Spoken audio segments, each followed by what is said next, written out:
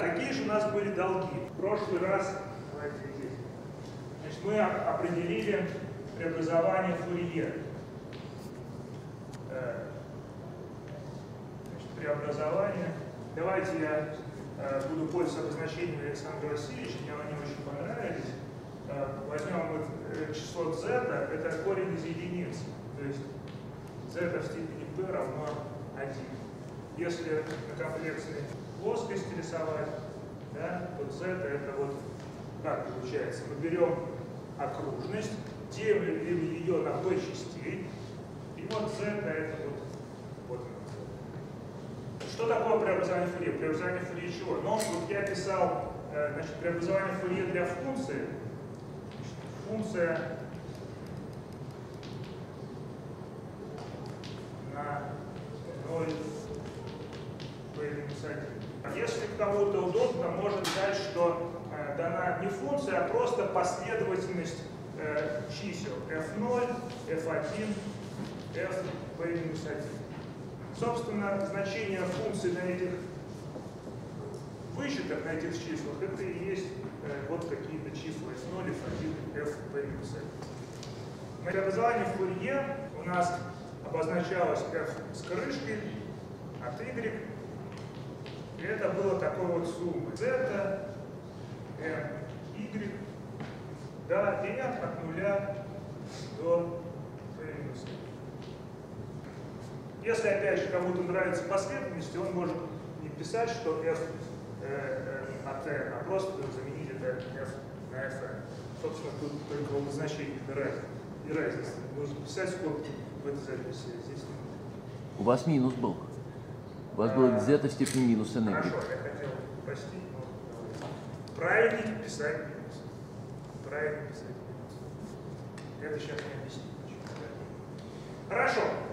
Так, про преобразование Фурье у нас была формула Планшереля. Да? Во-первых, была элементарная формула, но фундаментальная здесь была такая лема, что если мы берем z, считаем по степеням na, n от нуля до p минус 1, то эта сумма будет равна либо p, э, если a равно нулю, или 0, если a не равно нулю.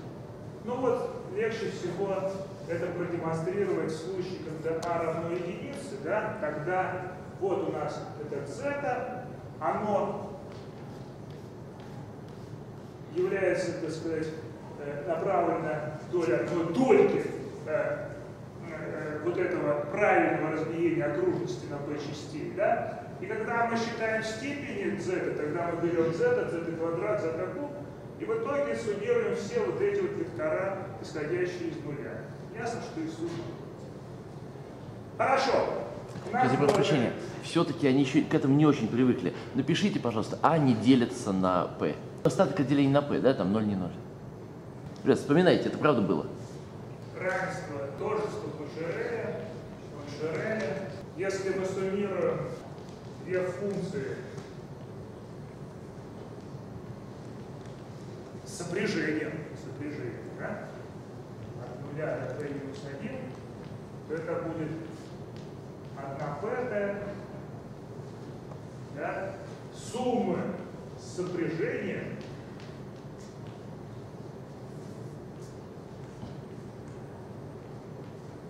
их преобразований в университете.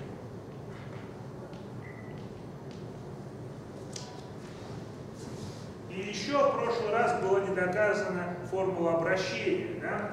Значит, вот. Я ее доказал. А, на прошлой доказали? лекции я ее доказал. А, тогда не надо. Не, почему? Написать надо. А вдруг кто не был на прошлой лекции? Формула обращения. Формула обращения, э, картинка, не знаю, пояснила ли она что-то, что вот э, у нас есть две планеты, наша Земля, э, вот, и преобразование Фурье любому объекту, объект это функция, да, ну или там множество будет, да, сопоставлять некий объект на Сатурне, да, вот по формуле. на Сатурне – это преобразование Фурье функции. Вот. а, Но а, оказывается, что эти миры, э, эти миры, э, так сказать, говорят двойственны, то есть наоборот, каждый, э, каждой точке на Сатурне соответствует точка на Земле. Вот. И, так сказать, наоборот, зная объект на Сатурне, можно определить э, объекты Земли однозначно. Итак, значит, э, в сухом остатке есть такая формула обращения, что если мы хотим вычислить функцию f или последовательность fn, это одно и то же, по преобразованию Фурье, тогда нужно писать прям скажем,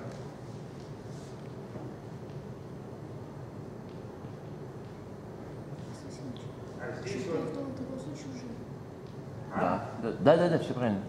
Вот, а, а здесь вот уже z надо ставить не со знаком минус. а Вот, в общем, видно, что э, э, переход из вот этой вот иной планеты на нашу родную Землю, он э, выглядит очень похоже, да, на определение. Ну, только вот знак и здесь деление на то. Хорошо. Еще свертка была. Свертка. Давайте, да, напомню. Свертка. Э, свертка. Давайте еще раз э, напомним, что такое свертка. М, что такое свертка? Свертка f и g это функции. Опять же, на отрезке от 0 до p минус 1 мы их э, свертку определяем как новую функцию Видите, в определении свертки нет никакого преобразования в Фурье. Э, Это как раз вот, э, так сказать, операция на нашем родном мире. Да? Э, Вот куда не выходя, мы определяем свертку, то есть новую функцию. Значит, это новая функция, функция, которая задается вот такой вот формой. f, m опять суммируется от нуля до p минус 1. Смысл этой свертки, смысл свертки очень простой. Давайте рассмотрим, давайте табачный пример, я здесь пишу. Пример. Вот у нас было определение характеристической функции множества. Здесь вот множество А. И ее характеристическая функция задается так. Она равна единичке, если x из А, и нулю, если x не из А. Это характеристическая функция.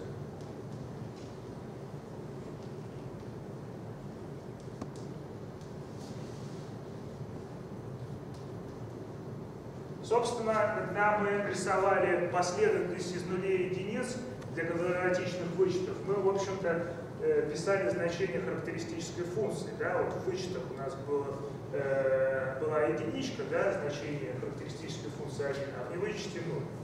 Вот. Что такое свертка двух характеристических функций? От числа, значит, r. Смотрите, ну давайте по определению. Значит, это единица А, m, единица b, n минус m, m от нуля до p минус 1. А, давайте посмотрим на эту сумму и когда э, в этой сумме и нулевые слагаем. Э, смотрите, вот эта вот функция характеристическая, она вообще-то очень часто ноль. Да? И чтобы э, слагаемое, то есть произведение вот этих двух функций было не ноль, нужно, чтобы каждая из функций была не нулевой. Это что означает? Это означает, что здесь, э, здесь суммируется те n, да, значит, сумма идет по тем n, сумма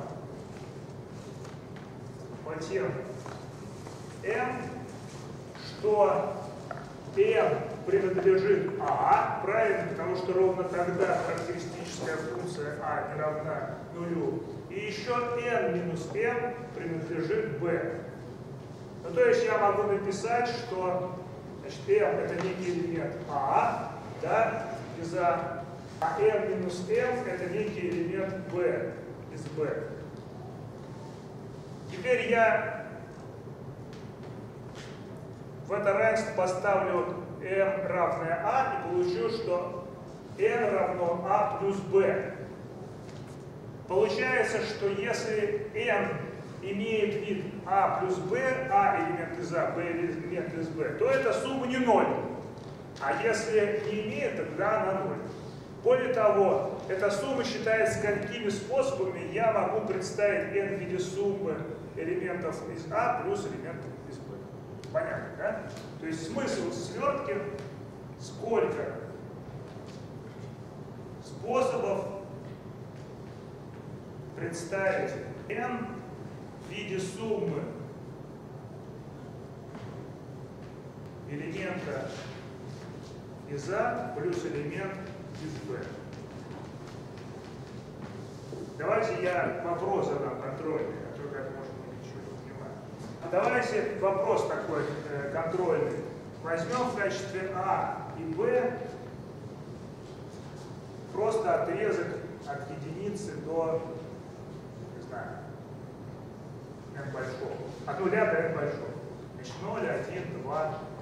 Вот, вот это вот у нас множество А, а множество Б. Что такое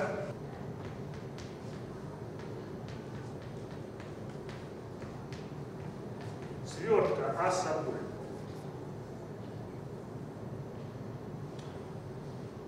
То есть просто-напросто нужно понять, э, вот э, дано n, сколькими способами можно его представить в виде суммы двух чисел от нуля до n большого.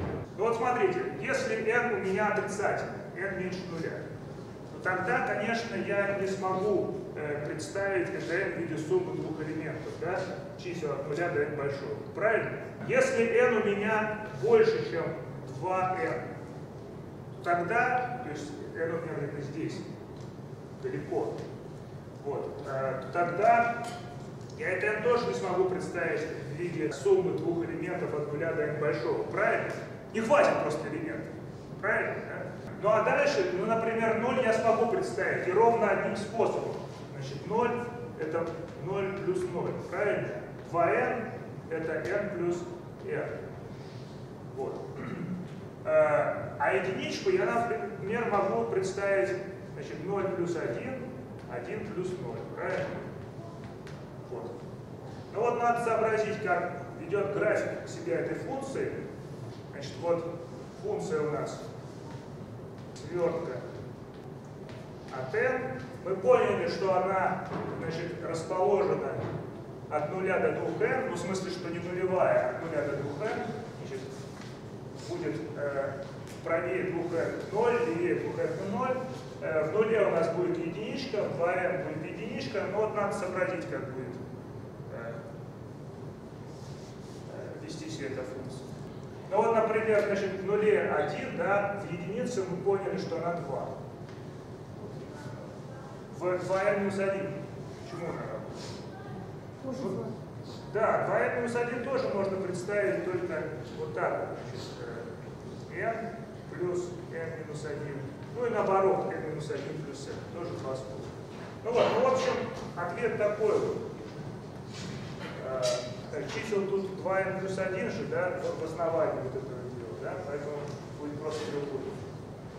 точки n большое значение равно n плюс 1. Вот такой вот смысл свертки.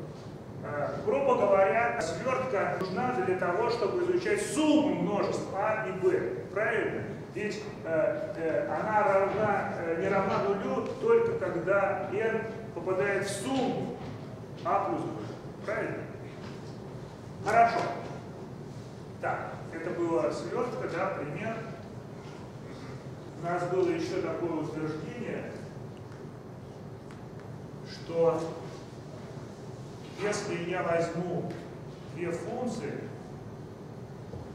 посчитаю их свертку,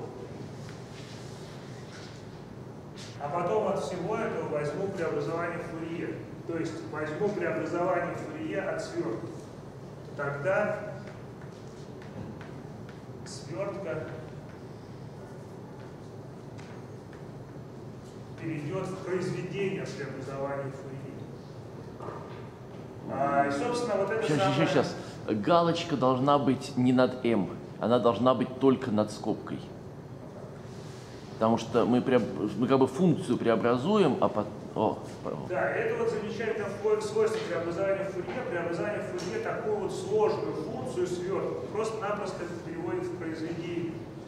А, Этим свойством, э, так сказать, люди пользуются в быстром преобразовании в Фурье.